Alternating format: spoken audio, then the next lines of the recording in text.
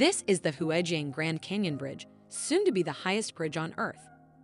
Rising an astonishing 625 meters above the canyon floor, almost twice the height of the Eiffel Tower, this suspension bridge stretches nearly 2,900 meters in length with a main span of 1,420 meters. It connects the rugged terrains of Guizhou province, transforming what was once a dangerous 70-minute drive into a scenic 90-second crossing.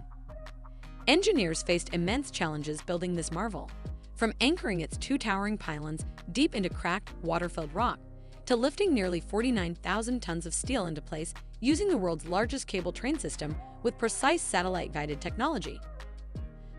The bridge combines strength with elegance, featuring Art Deco-inspired towers reminiscent of San Francisco's Golden Gate Bridge, creating an iconic landmark harmonizing with the breathtaking natural landscape.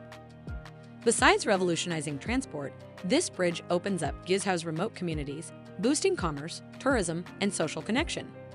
Visitors will enjoy thrilling attractions like glass walkways, extreme sports, and stargazing platforms. After passing rigorous load tests in August 2025, the Huajiang Grand Canyon Bridge will officially open later this year, symbolizing human ingenuity and resilience on a monumental scale. Would you dare to stand and look down from 625 meters? Subscribe for more.